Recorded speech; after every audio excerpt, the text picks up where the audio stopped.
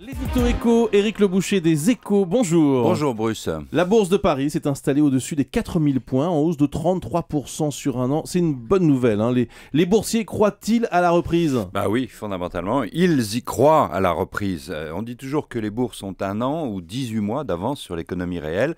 Cela se retrouve aujourd'hui. Les bourses ont commencé à grimper il y a un an. Elles anticipaient avec raison. On observe que l'économie repart aux États-Unis et même au Japon. Et pas en Europe. hein. Non, en Europe, évidemment, c'est actuellement la récession, mais une reprise est attendue en 2014. Elle est encore incertaine et probablement elle sera faible. Voilà pourquoi le CAC 40 de Paris n'est encore qu'à 4000 points, très loin de son record d'avant-crise. L'été 2007, il était à 6000 points.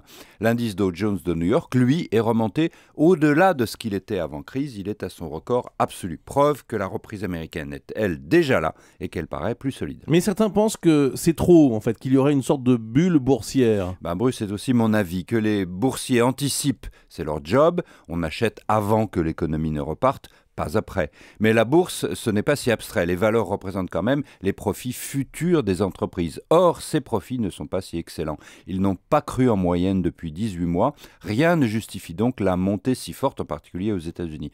En réalité, il y a énormément d'argent dans le monde qui ne sait plus où se placer, les emprunts d'État ne rapportent plus rien, l'immobilier reste convalescent, donc il y a les bourses. Alors prudence?